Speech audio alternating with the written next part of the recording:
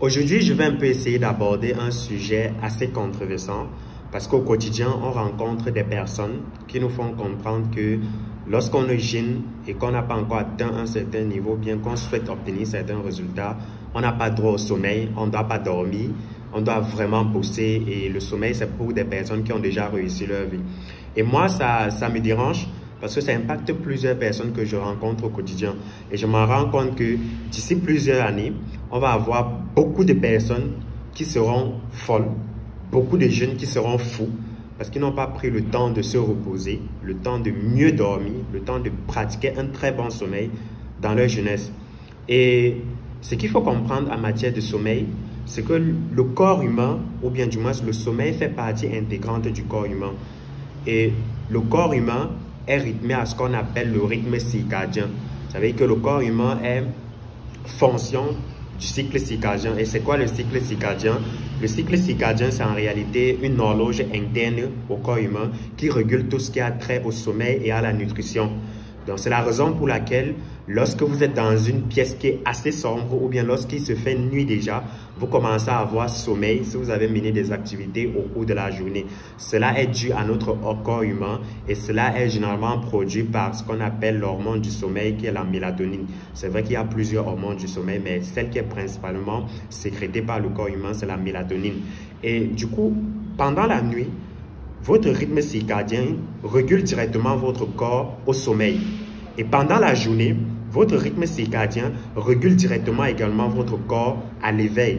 C'est pour ça qu'on conseille généralement que lorsque vous vous réveillez le matin, la première réaction que vous devez avoir, c'est de sortir et de, et de faire face à la lumière du soleil, par exemple, dans le but de prouver à votre corps que voilà, il se fait déjà jour et il est le moment de bosser.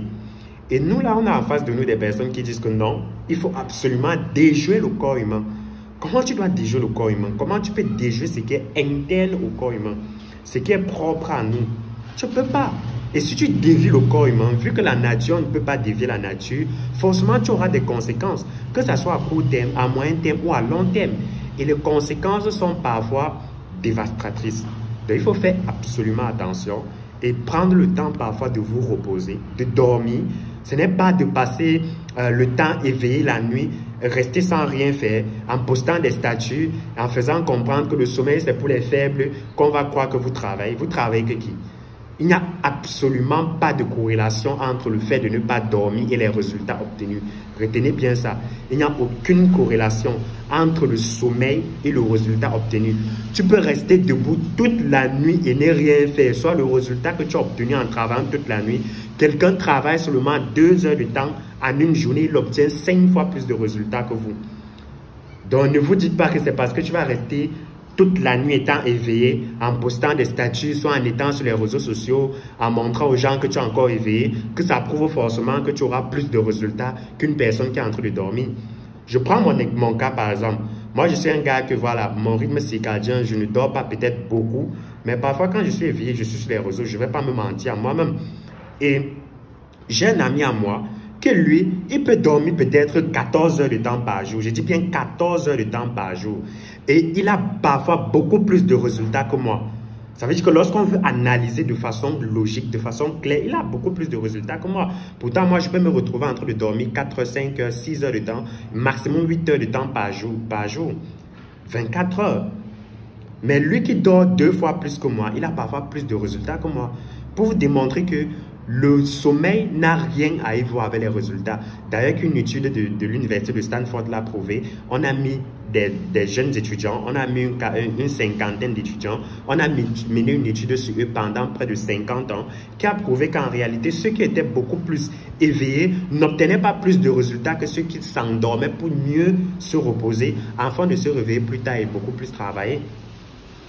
Il y a des études qui ont mené ça. Donc, il faut absolument dormir. Le sommeil est très important. Moi, par exemple, dans mon bureau, j'ai un canapé. Et quand j'ai sommeil, quand il faut, je pars, je casse mon canapé, je dors franchement, je me repose. Et quand je me lève, je bosse et je continue. Donc ne dites pas que c'est parce que vous restez debout, vous ne dormez pas assez, que vous allez forcément obtenir les résultats que les personnes qui, ne dorment, qui dorment. Ça n'a rien à y voir.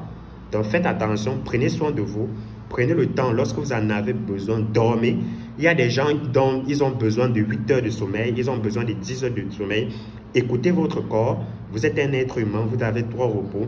Vous avez droit à écouter votre corps. Écoutez votre corps. Si vous avez besoin de 8 heures de sommeil par jour, dormez 8 heures de sommeil. Et rassurez-vous simplement que lorsque vous êtes éveillé, vous bossez comme il faut afin de produire plus de résultats. Si vous êtes une personne qui ne dort pas assez, soit qui a des troubles de sommeil, rassurez-vous de lorsque vous êtes en, train d'être éveillé, vous produisez également plus de résultats. Soit lorsque vous n'avez pas sommeil, vous cherchez à travailler plus sur ce qui sera optimal pour vous. Et retenez bien ça. Si tu essaies de dévier le corps humain en lui faisant comprendre que non, tu bosses trop, que d'autres personnes. Cela va te rattraper dans deux ans, dans trois ans, dans quatre ans. Il y a également une étude de l'université de Massachusetts qui a prouvé qu'en réalité, les personnes qui restent beaucoup plus debout sans dormir sont susceptibles d'avoir un AVC. Donc j'espère que ça ne sera pas le cas pour toi d'obtenir un AVC parce que, voilà, d'obtenir une crise cardiaque parce que tu ne dors pas assez ou bien parce que tu es en train de dévier ton corps humain qui a besoin du sommeil. Les gars, dormez, c'est très important. C'est pas parce que vous êtes, vous êtes jeune que vous allez travailler et mourir. Non.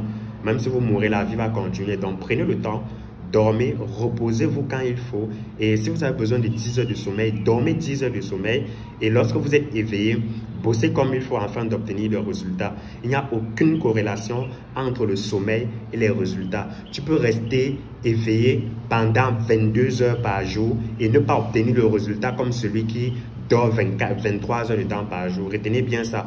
Peut-être une heure de temps qu'il prend pour bosser, il est à 100% dessus, il obtient, il travaille de façon optimale et il obtient plus de résultats que toi.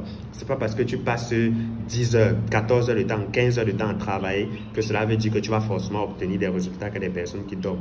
Prenez soin de vous, reposez-vous, dormez au besoin, dormez bien, très bien même au besoin et vous allez forcément avoir des résultats plus que d'autres personnes qui n'ont pas peut-être pas le temps de dormir. C'était ma vidéo du jour. J'espère qu'elle vous a, euh, elle va vous apporter un plus et que vous allez apprendre beaucoup mieux.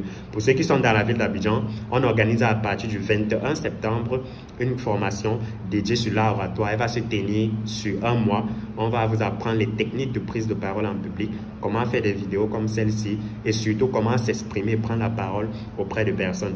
Et j'espère que vous serez de la partie avec nous. Si vous êtes dans la ville d'Abidjan, si vous êtes cadre, étudiant, salarié, ça coûte 50 000 et à la fin, on aura des attestations. Je rappelle que la formation sera avec trois intervenants, bien du moins trois formateurs, dont j'en ferai partie. Et inscrivez-vous via le lien en commentaire, soit autour de cette vidéo. Et on se retrouve à très bientôt pour une nouvelle chronique. C'était Boari Mohamed. Et n'oubliez jamais, prenez soin de vous. Ciao